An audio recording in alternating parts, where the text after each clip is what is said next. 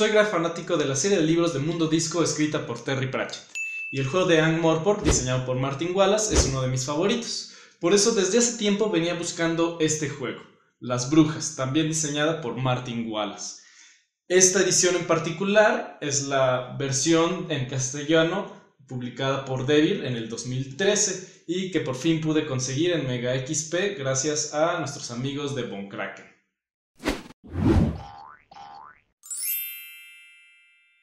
El juego de Ang Morpork tiene lugar en la ciudad de Pónimo y hace muchas referencias a varios libros de la serie de Mundo Disco. Y este juego en particular tiene lugar en el país de Lancre, el país donde las protagonistas son las brujas. Vamos a ver qué es lo que hay adentro. Realmente estoy muy emocionado, quiero ver ya.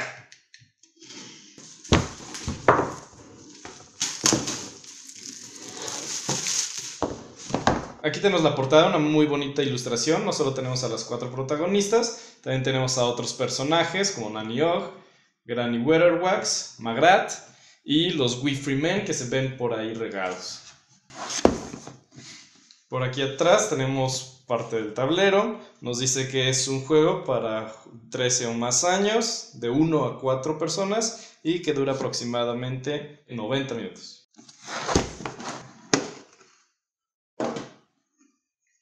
Lo primero es el mapa del Anchor.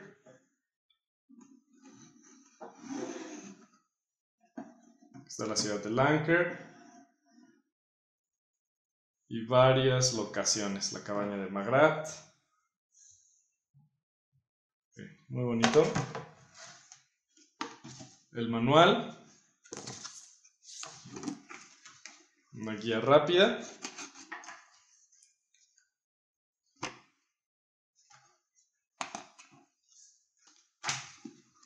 ¿Y qué más hay? Son los tableros de jugadores de todos los protagonistas. Petulia Ternilla, Anagrama Halcón. Aquí tenemos a Tiffany Aikin. Debo acostumbrarme a estos nombres en español. Tiffany Dolorido. Cortiza Jaleo.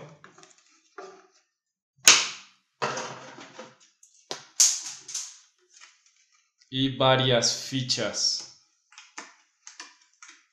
Todo muy fácil de desprender.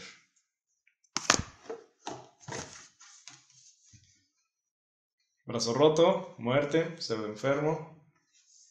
Homero, el hombre astuto, Duque Felmet, Lady Felmet.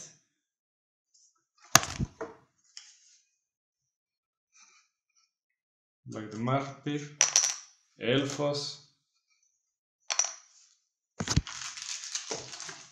Y no hay mucho más. Estas fichas para los jugadores. Gorritos de brujo. varias bolsitas y estos dados que en el 1 tienen a una pequeña bruja y cartas.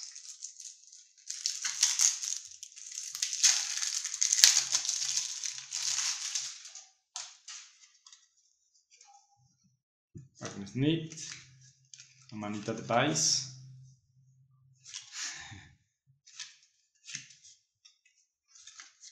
Muy bonitas ilustraciones. La muerte, por supuesto. Y Amanda. Una sartén.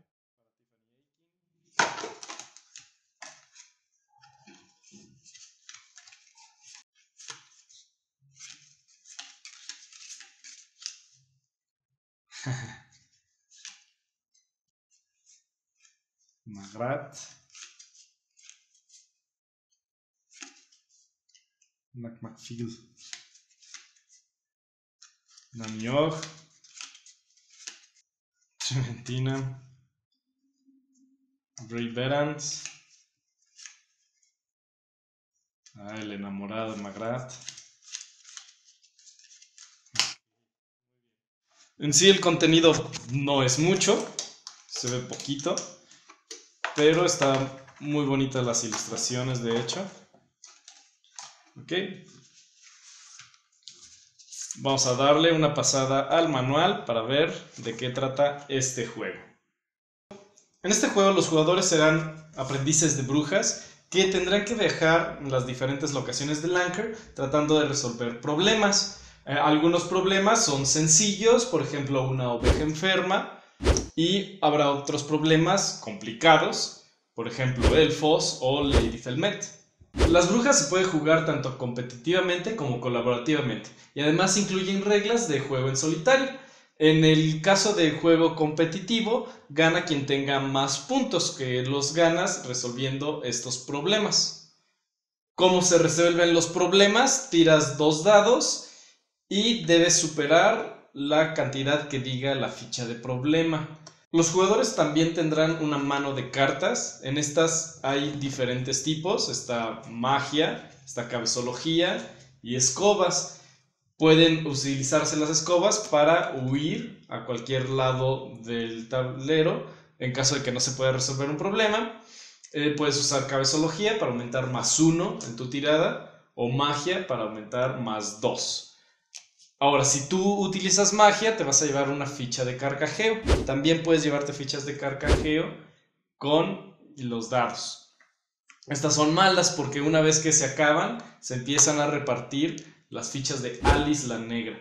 Y cada ficha de estas da puntos negativos al final del juego.